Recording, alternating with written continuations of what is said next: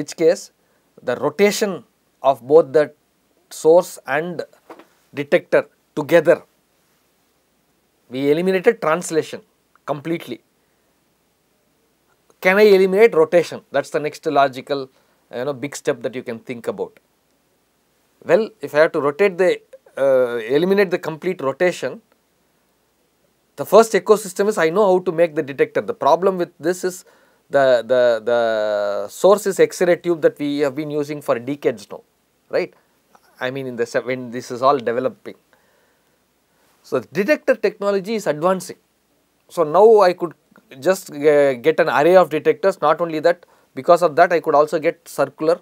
So, I would first take arrest not moving both rotating both the uh, source and the detector I will have a stationary detector that is all surrounded the patient. So, here what is going to happen? I have completely done away with rotating. First translating motion was avoided. Now even the rotation of the detector is avoided. So, instead of doing that what is done? Only the source is now moved right? Circled around the patient.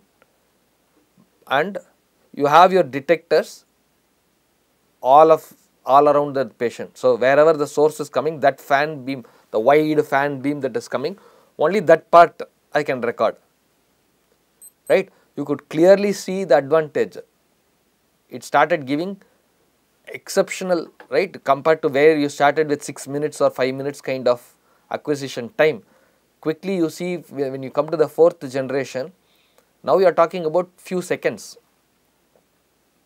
Okay. So, this is very powerful. So, lot of applications started popping up from a clinical perspective because these tools these uh, scanners were uh, getting to a speed where it was meaningful that they could record some aspects physiologically right. So, you want to do heart, heartbeat. So, you want to be I said the respiration can be held, but then you have some other mo moving parts as well. So, I want to do some remember the contrast agent. So, you want it to go your blood vessel is moving, your heart is pumping. So, now if you get it to seconds right you have significant advantage okay you can start to see things applications that you never imagined before. So, it became very powerful, but uh, is there any um, I mean like like how we did for the other generations, what is it that we are going to pay up for? Of course, the cost and all is going to go up, right. Do not worry about the cost per se, but yeah it is important, but technically what is happening? Technically you have gained in time, is there anything else you are losing? Yes, two things you had worried about scattering in the second generation and third generation because you had to have collimation. Here you notice because the source is moving you can have any angle right. You cannot really have a detector with a fixed angle. When the detector and the source were moving together you could have collimator based on the line of uh, sight right from the source to detector you could have a collimator. Whereas here that I can change my step size for my rotation of my X-ray uh, tube source. So, in which case I cannot really have the same line of sight. So, a detector must be able to pick depending on where the source is shooting. So, you cannot really have a fixed collimator. So, the collimator aspect is done away with. So, the moment you do away with the collimator, what is the problem? A problem is you are now you are having multiple lines and you do not have collimation. So, even though you gain significantly with respect to time of acquisition, your Compton scattering is going to be a huge role. The only advantage, I mean, where where do you gain? Oh, because I am going to have this surrounding the in a, in a circumference, the detector size can be bigger. So, if you have more area to pick the photon, probably your signal is also going up.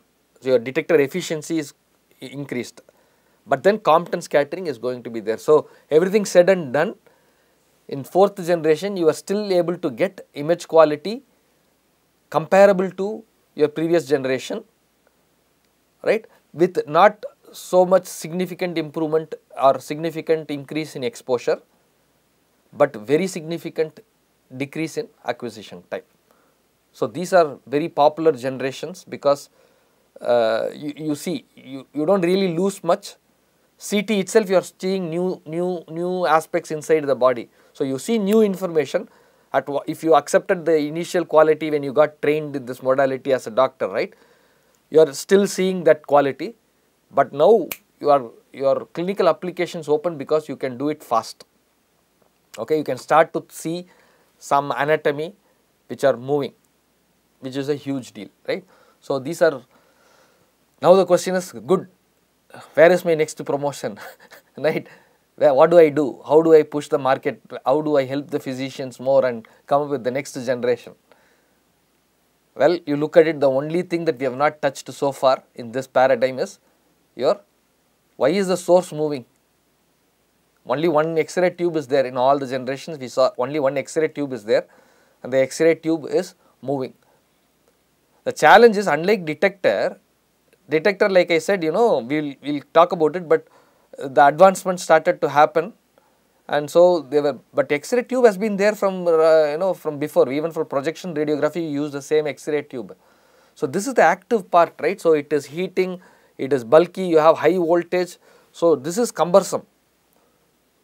So you you cannot have multiple x-ray tubes and you know try to rotate them. So uh, it, it, becomes challenge. So in some sense they didn't uh, work on the X-ray tube aspect to have multiple source because of the bulkiness of the X-ray tube and, and it is a very critical uh, component. Unlike the detector which the, the uh, uh evolution was parallelly happening because of advancement in semiconductor.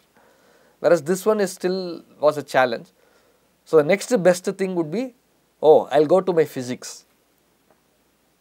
What is the role of X-ray tube? Generates X-ray how is it generated?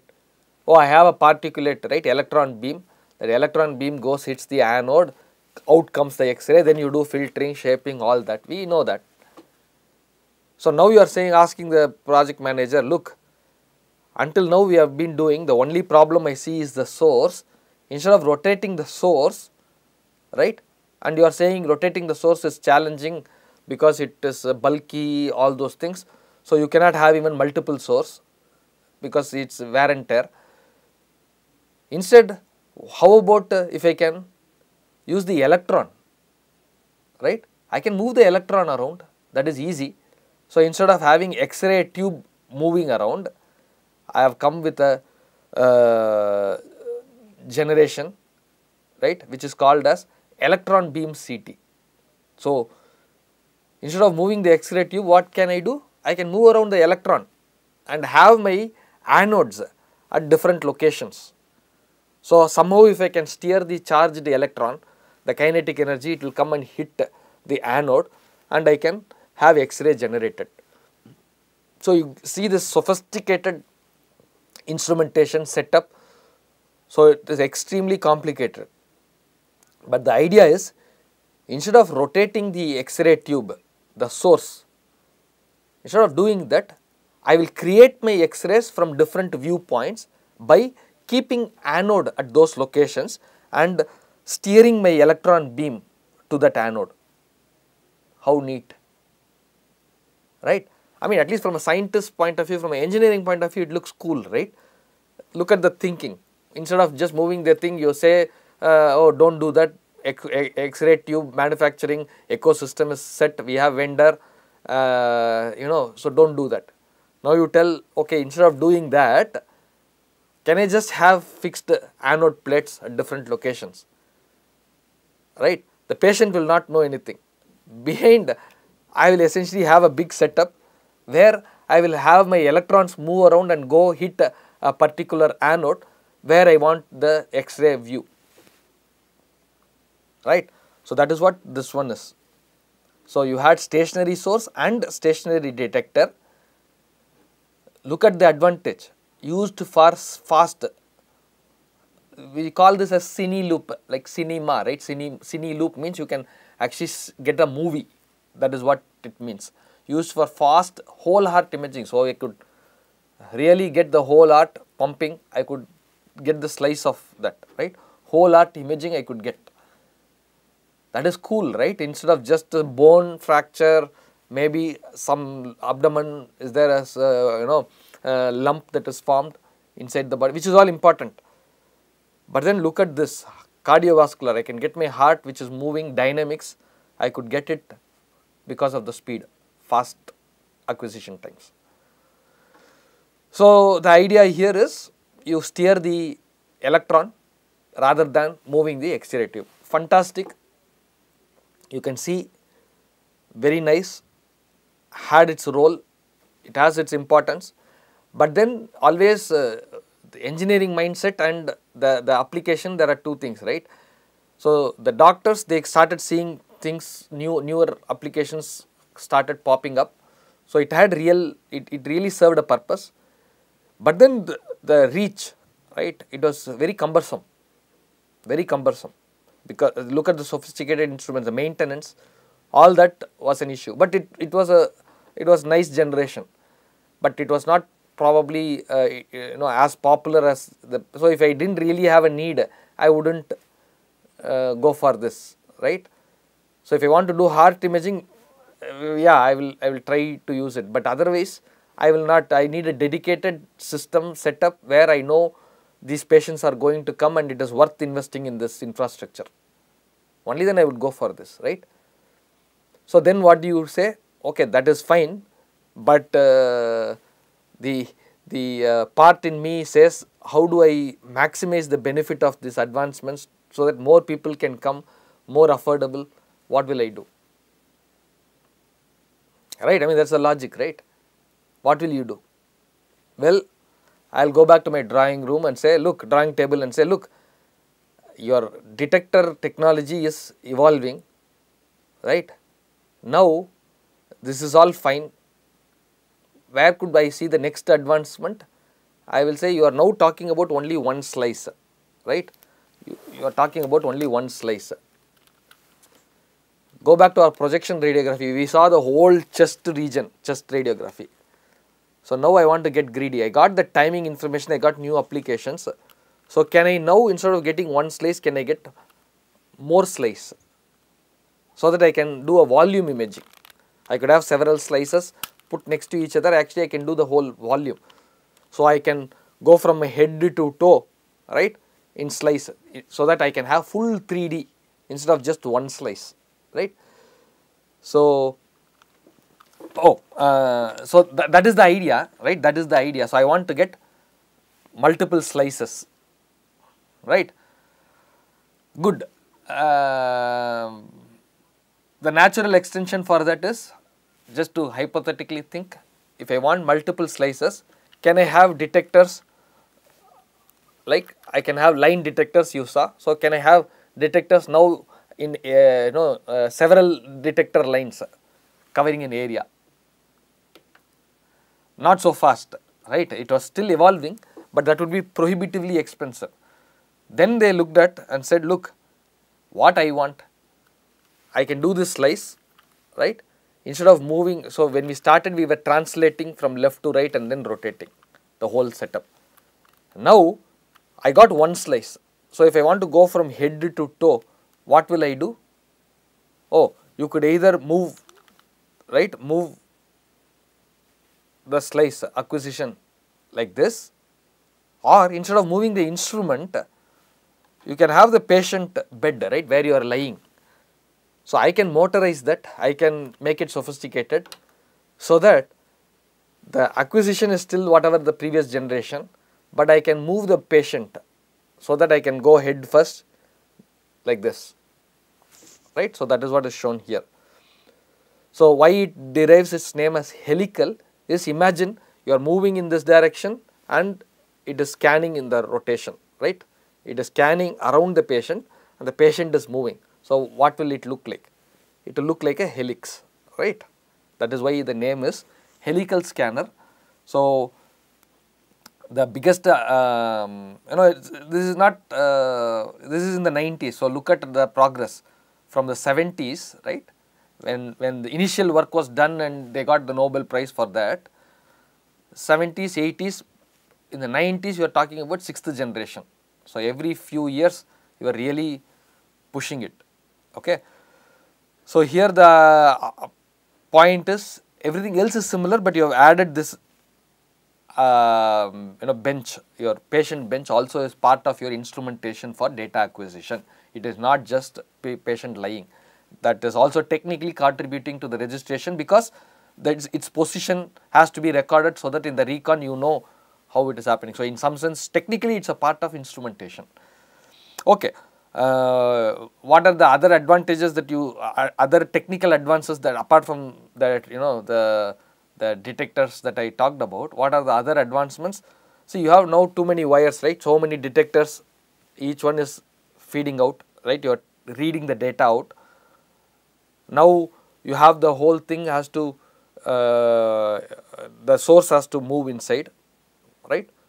Now you are saying the patient has to move, the bed has to move in and out. So, you are talking about lot of wires, rotation, translation, you do not want them to you know get clogged or anything. So, what happened is you had uh, slip ring technology that was maturing, right.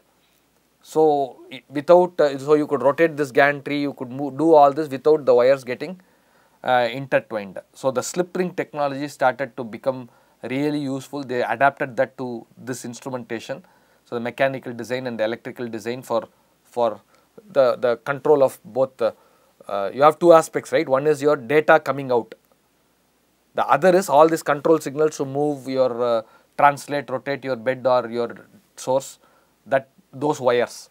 So, they were able to essentially use slip ring technology became very uh, popular and uh, very useful. And therefore, you could start to do all the uh, integrate patient bench motion and other things without much trouble. So, helical scanner, so you could get entire abdomen or chest completed in 30 seconds. Fantastic, right? We talked about say in second generation, we were talking about some 30 seconds. Now, but that was one slice. Now you can get a whole chest or whole abdomen. So, you are talking about say for example, several centimeters, right? Whole chest, whole abdomen, we are talking about several centimeters. You could get in 30 seconds, right? Fantastic. Well, so far so good. So, this is popular as well, but then uh, I would still like to have multiple slices. Can I do even faster? How can I do even faster? Well, I can do even faster. The same logic. Instead of moving the patient, right, translating the patient, can I go back to your first generation, you are doing translation. We wanted to avoid this translation to gain time. Now you are moving the patient in helical. So you are getting 3D, you can get the whole different slices. But if I want to reduce the time even further, what will I do? Or oh, instead of moving the patient, can I have multiple detectors, right? One row of detectors you saw. Can I have another row of detectors? Right. So, if I have two rows of detectors, I have two slices recorded at the same time. If I have three rows, I get three rows of slices recorded at a time, right. So, again, so the logic was in the seventh generation, right, you got what is called as multiple detector array. So, when you have when, when they say array means you have several elements, array of elements. Now, you have multiple detector arrays. So, your single, right, this is the fan beam, you have one full array. This was the thing in the fourth generation, right. Third generation, fourth generation. Fourth generation essentially you were rotating and getting it. So, third generation for example, you got one array. Now, what you are doing is you can get multiple arrays you can position. Only thing is what you have to do instead of sending a fan right with only thickness proportional to one detector size. Remember how the X-ray tube generates. It generates a cone, right? Its point source, it goes like a cone. That's how we did in projection, projection radiography, right? So here deliberately I have to have make sure that I have this fan but the fan should be spreading over how many ever detector array I have. If width of height of one detector is x and I have 4 arrays here, then I have 4x. So, I have to know my you know, width has to be 4x. Okay. So, the idea here is direct brute force extension of the previous generations with advancement in the array. So, you can have multiple detector array. So, there is a, a, a site which I accessed uh, uh, a year ago. Uh, I found it to be very useful. There are several more animations and uh, sketches that I found to be useful, right, along with uh, the, the line of what we are discussing here. Okay. I have no conflict of interest. okay, so it's just uh, I found it useful, so maybe you may want to take a look at it. Uh, so that is your seventh generation. So good. Do you think is there anything else that we could do? Right, it is 2000s. Anything else we could do? Right. Well, not. I mean, still you can do. You can you can uh, what we are silent so far right? What happens after 2000 did nothing happen right? What has been happening in the last uh, decade or two? Everything done. Not really. I mean these were developed in the 2000s and now it's becoming popular. So you would hear uh, uh, multi-slice scanners right? Typically 64 slice scanners that are coming to the market. If you are in say india for example these are still niche instruments that are there only in few select uh, uh, hospitals, right. So, it is still becoming popular, right. Um, so, we are in that stage, but where is the lot of uh, developments happening? We will come to it. The all until now we are talked about only data acquisition hardware and uh, instrumentation. We have not really talked about the computation aspect of it right. After you get the data, we have to recon, get the images of the slice. Now you are getting so much, so many different slice volumes. So you have so much data. So lot of effort still is going on. How do you digest this information, right? How do you visualize this information? 3D, 4D. How do I plot it? How do I see what is happening in certain applications, right? So, I send contrast agent and I see the heart pumping. So, I have several aspects that I want to visualize. How does this perfuse into the tissue? So, you have higher orders. So, you have so much data, so much new information coming and you have to churn all this to do the computation. And no guess here, at this year 2021, you would have probably a lot of buzzword you would see is all about big data, deep learning, AI, right. So, you have a lot of data coming in. So, a lot of research in the last couple of decades has been uh, essentially going towards uh, how do we handle so much data, can it be patient specific, how do we you know do handle the data, visualize the data, process the data.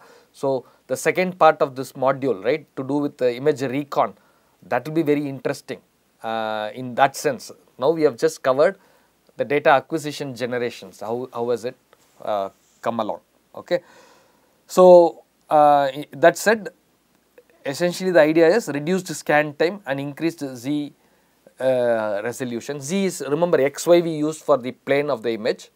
So, if that is what we are going to. So, the other direction was Z in, in our projection radiography coordinates if you look at it we will redefine the coordinate one more time when we actually do the recon because you need to know what your where is the signal coming from. But generally if you vaguely remember how we did projection radiography, we always use f of x comma y as the input source 3D object, right, image of the 3D object, the g of x comma y on the and the z we used it for uh, separation between the uh, source and uh, detector, right. So, so, so, z is your thickness in, in this regard it is the thickness, okay. So, we can get reduced scan time and increased if you have multiple detectors, I could get slice thickness can be improved because that will be about the size of the detector, right. So, you can get 64 slice per rotation, look at this whole body in about 30 seconds, right. So, powerful these are the different uh, geometries that we have talked so far. Source right you get this line first generation first generation then we talked about fan beam this is called as your cone beam when you did the 2D right you had your detector array stacked volumetric okay. So, this is your cone beam. So, now the question is we got the data in this format along the line I get one value along the line I get another value. So, I have collapsed I have projected this this is the data I have like this I have it at different angles this is along this line I have a value along this line I have a value. So, but it is arranged in a curvilinear fashion and I have it for different rotations. So, these are the raw data that you have measured using the different schemes, different generation detectors that, that we have talked about. Of course, we will right right now the, the current generation you are talking about multiple detectors. So, it is an area. So, you have one detector, next detector line, third array, fourth array. So, you have several of them clear. So, this is about your data acquisition part of your instrumentation major major uh, development of the different generations the different components in this thing several of this we we saw x-ray tube for example is x-ray tube. There is nothing new to cover. So we have x-ray tube already. What uh, uh, what we need to still cover is some uh, specifics that are there, but major major components in the X-ray projection system that we covered will be used here as is. The major component that is slightly different is your detector part. So, most scanners use only X-ray tube, right? That is why, so this is nothing different from what we have covered already because of this reason, okay.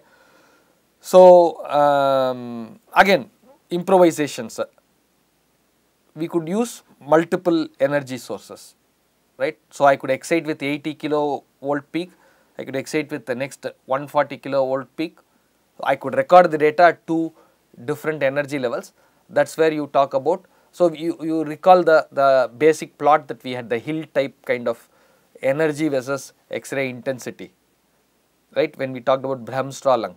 So, that is the spectra that goes in, right. So, you could do that at two different energy levels because we know your mu is a function of energy also, right, material property.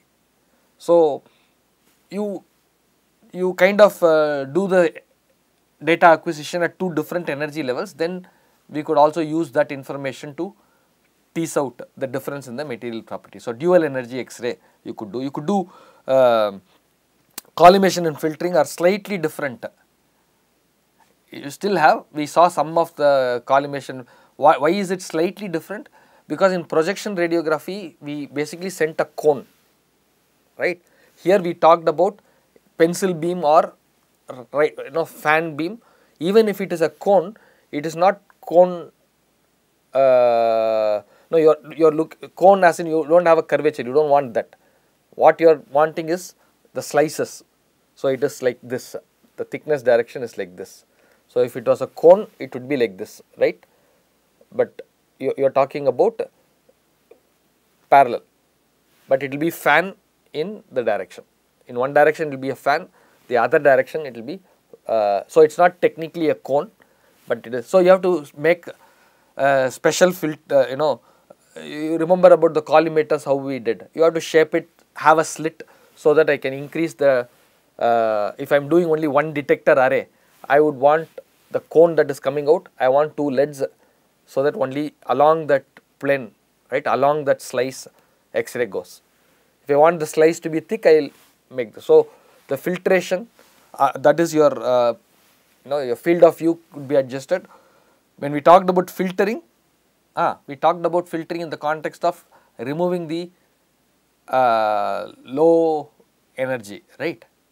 So, here deliberately what you do is you make it hard. Okay, what do you mean by hard? Hardening the beam.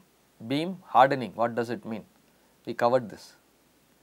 Ah, you remove the low energy so that you are moving it to the right. Okay.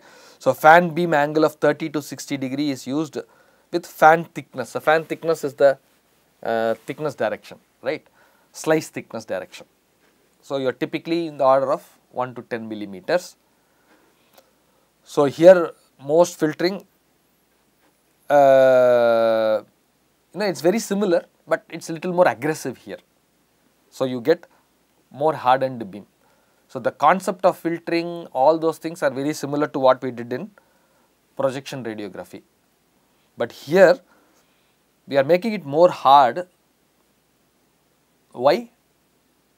You, you, when you mean making it more hard, what is happening? You are narrowing the spectrum and moving it right, you are narrowing the spectrum. Initially it was wide, you preferentially take the lower. So, the width of the spectra is reducing, it becoming narrow. That means you have only less number of energy distribution, you do not have wide range of energies. Why is this important here? Why am I aggressive? I want to really reduce it. Oh, in projection radiography, right, in projection radiography, even though we wrote the equation, we said uh, um, uh, monoenergetic, polyenergetic, even though we recognized it as polyenergetic, we, we, we were okay uh, with not being aggressive. Why? Because image was formed, right? Image was formed and average energy equivalent to interpret was good enough because anyway I am collapsing the whole dimension. So, that was good enough. Whereas here the data that you are recording, you have to now start to reconstruct at different locations. So, that means my assumptions, right, I am going to start with a value that is detected, I have to have a model, I have to reconstruct. So, that has to be the model, right, the image, uh, the, the, the, the attenuation law, the model that we made for the signal, that has to be, we have to practice be as close as possible to the model that we described. And that happens if you have monoenergetic case, it is easier to handle. So, as far as possible you make it hardened so that even though you know it is polyenergetic, your estimate of a equivalent monoenergetic can be used in the recon alright mathematics and you not be too far away from the reality. Okay, so that is the because ideally uh, uh, you know ideally you might say I want only one energy, but that is not going to happen. So, you can be as narrow as possible. Okay. So, source is more monoenergetic, it is not monoenergetic, it is more monoenergetic than before. That is why you want to harden it. Okay. So, this is one thing that is uh, specific to CT because you are going to start with the detected value and do reconstruction. Okay. Uh, good. So, so much for so X-ray source and collimation we talked about that. What are the uh, other aspects? The most important aspect I did say that oh advancement in detector right that is what we were exploiting. But you really think about it the major difference between your projection radiography right what was the bottleneck of projection radiography and it took so much time. It is not that uh, people were not aware of the mathematics. In fact, uh, uh, you will be, I was really, um, it was a, a, moment to really appreciate these things. I learned that the radon, the, the work by radon, radon, right, radon transform which we will be heavily using in the recon, right. Those, lot of those theorems and work happened, radon published in the uh, early 20th century 1915 16 so that is kind of contemporary right about 10 years after your x-ray uh, started coming for medical applications uh, medical imaging application. So in some sense the mathematics he was dabbling with how to reduce the uh, dimensionality and recover the dimensionality from a mathematics perspective. So he has done a lot of radon theorem and other things happened those time. But when did you CT happen? And the problem of oh I am losing my depth is known to the mm, uh, you know the physicists that time also. But and the doctors would probably also share that opinion. Oh i want to see what is there inside not just the projection. But the problem was they didn't really have that. They, they were using so the parallelly the photography was also developing right? Photographic film chemistry development chemistry all that things were also develop uh, uh, rapidly progressing.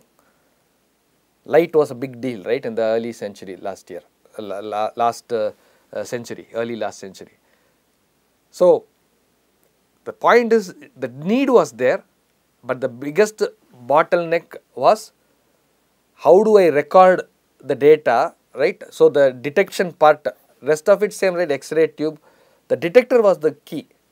So, now we wanted to have a detector where I could actually record the value and take it for computation. That is the key. So, what happened? your semiconductor those started your diodes right? Transistors those started appearing. They became very mature right? So advances in solid state electronics essentially that translated to so the idea of modern detectors right? Where you can do CT so that transformation started post world war II perhaps right after you had uh, uh, semiconductor devices that were mature enough that they understood they could use for this then probably they worked for a you know a decade or so to put the come up with this idea of okay I could use these detectors and collect the data the first generation right. So, in some sense even though you would say CT was introduced uh, the first shown to work in the 70s but your X-ray projection radiography, X-ray was uh, you know about 75, 80 years earlier than that. It is all because at that point of time what are the other, so it is very interdisciplinary right, multiple disciplines have to progress. So here big, big uh, uh, development came because of the development of the detector part of it, mostly due to your semiconductor electronics. So silicon, your scintillator crystal right? You might look at what is it. so look at the objective of the projection radiography instrumentation on the detector side. What was it? Oh x-ray photon came it hit the uh, photographic film. The conversion ratio was poor and therefore they used some material phosphor active material right? Phosphor was there. What was it doing? It was the intensifying screen. Go look at that. So it was trying to convert the x-ray energy to light energy and that light photon went and spoiled the X-ray. Now what I want? Same thing, I cannot measure the X-rays. So here also I want to convert the X-rays. I want to convert the X-ray photons into visible light photons. But then I want to you measure that photon, take it out, read that so that I can do operations with it, right. So you started getting these photodiodes, right. So essentially this advancement led to the scintillating crystals also like I said calcium tungstate what we used right uh, what Edison was uh, using in the early developments. But once so that was still used in the X-ray film right whereas uh, this detector you started getting rarer materials okay. So you had all these which will use for scintillator. What is scintillator? It is converting your X-ray energy. So, inside, so X-rays come and fall on the detector. And what does it do? The scintillating crystal essentially convert this X-ray into light photons. And once that happens, that goes feeds into your photodiode and then I can record, right. I can get my voltage, I can record what is coming out each of the locations and do computation. So, two major advancements, one is your detector part advancement of this and then having said that uh, computation I am not going to cover about that but the idea is once you get that the generic advancement in computation started uh, uh, lending its way. So, it is the CT detector this is an important advancement that enabled the uh, acquisition of data so that it can be done for reconstruction. Okay, so this is an important uh, piece in the instrumentation. So you not only had like this, you had several other versions as well. for example, if you look at uh, third generation where you had collimator that was direction was very important it was aligned with the source right. So, in those cases we also talked about because of that the signal uh, detection goes down because you have your collimator and it is in that so your scattering was supposed to be avoided but also because of neighboring beams and you put collimation your efficiency also goes down. How do they so essentially they also had few other ways mostly for the third generation which uh, this was very directional detector where you have uh, a xenon ga gas tightly packed chamber.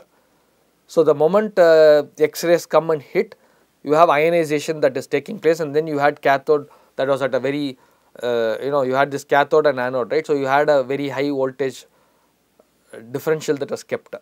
Therefore, when X-rays came it ionized the xenon gas when ionization happens you have a voltage difference you have current. So, they could uh, essentially uh, you know uh, use that conversion. So, this was very useful for when they needed very directional uh, amplification of the signal mostly for the third generation. Okay. So, towards the end what happened? Oh, so this was there line array was there In the development of this basically led to, so in 3G systems require very small directional. So, xenon gas based detector was used, but like we said more uh, advanced scanners nowadays we are talking about not just one line, we are talking about arrays of this. I mean array two dimensional right. So, you have one array next, so you see several of them, one row, next row, okay. So, in multiple detector array system individual solid state detector, so you are now talking about 1 mm cross 1.5, 1 mm is in the in the uh, if you want to call it uh, along the width right.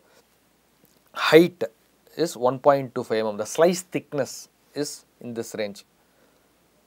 So, you still see it's it's fairly small I mean 1 mm 10 right so, the crystal is only 1 mm in height.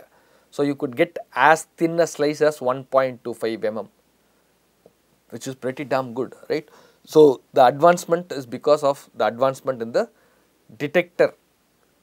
So, not a surprise that is what we saw in our advantages right. You, you have these cell phones having cameras now with so much uh, pixels right. All this advantage we get with CCDs, all that this advantage is also translated. I mean, these are all happening parallelly and uh, also medical uh, imaging uh, CT detectors benefited out of those development, not just the photography part. Okay. Okay. So, we are not going to really go in deep with the other uh, instruments in the instrumentation. One is the gantry. So, what is a gantry? The, you saw the big, uh, the, you, when you see the photo of a CT, right? you see this housing where the source detector ring is there and the source has to move right. So, the whole thing has to rotate. So, that whole part the mechanical casing all that is called as your gantry okay. And um, so these are kind of very matured uh, and uh, so we are not really going to go into deep in this uh, gantry. Slip rings like I said. So, you have to have the gantry should rotate. For example, then you have your data channel signal coming. So, slip rings that is another part that is uh, used. So, this is mostly the other parts are patient table, mostly the these parts are uh, in some sense uh, traditional uh, mechanical design, electrical design, um, you know engineering which was which is well matured that was not the bottleneck. So, it kind of came along with that. Okay. So, there is not some no real new sophistication that was required. This is a big deal. Why the generations changed and CT evolved? Your detector is a big deal. So, detection and the strategy of acquiring the data that is changed to address this big uh, limitation of how do I get through the slice, right. That is changed and then most important part what do I do with this data. So, now I acquire the data what do I do with this data? I have to do the image formation we do not call it, we, we will cover it in the title of image formation, but then here image is not formed by itself. You are actually doing reconstruction, you are forming the image by reconstructing. How, what do you mean by reconstructing? I get the data right using these strategies. I have to now reconstruct what would be along the path right. So, um, with respect to instrumentation I think we will stop here.